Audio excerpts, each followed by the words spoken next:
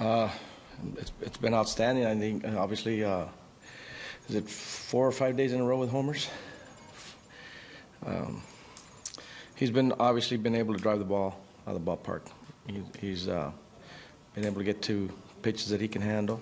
Um, I know in his last at bat, they brought in uh, the Castro in the middle of the at bat, but he's been, uh, you know, just trying to stay in a particular zone, and, and, we're glad that he's able to do what he's been doing. Obviously, uh, it's something that the whole, whole organization uh, has been hoping that he'd be capable of doing, and so he's showing signs that he, obviously he can do it.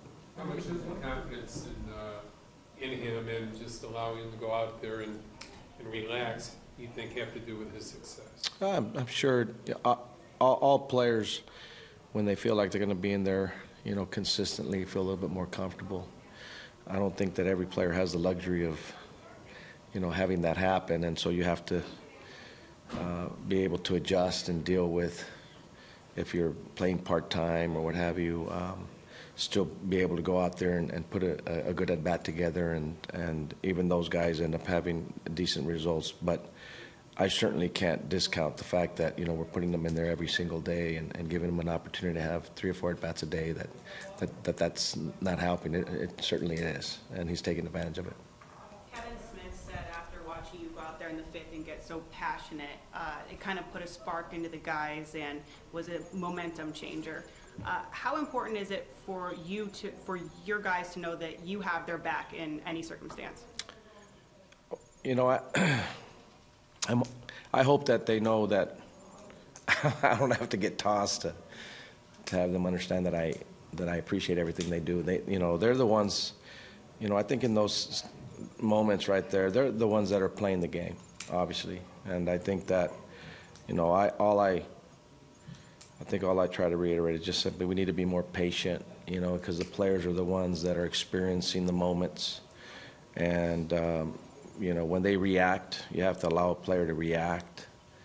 Those, you know, they're experiencing those, those situations. And, um, you know, from the outside, we have to be a little bit more patient. That's all. And uh, I didn't think he did anything.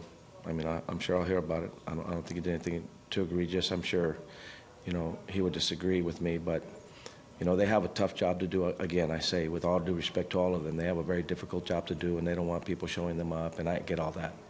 But I think uh, I, I, sit back and and, under, and try to think about all the things the players are experiencing and the pressure that they're under to perform, and um, you know, want to keep those guys in the ball game. What did he do? Because uh, he's not a guy that gets ejected a lot, Avi. I guess he, you know, whatever physical uh, reaction he gave him um, didn't sit well, and so he ejected him. Um, you know, and again, I get it. You know, you don't want you don't want the fans to be on umpires. You, you know, they they have a tough enough job, and and that's not the intent. You know, to to embarrass an umpire or to discredit him. I, I, I just think that you know, players feel passionate about what they're doing, and sometimes when things do go well, they express themselves, and it's uh, something that I think we have to have a little thicker skin with. That's all.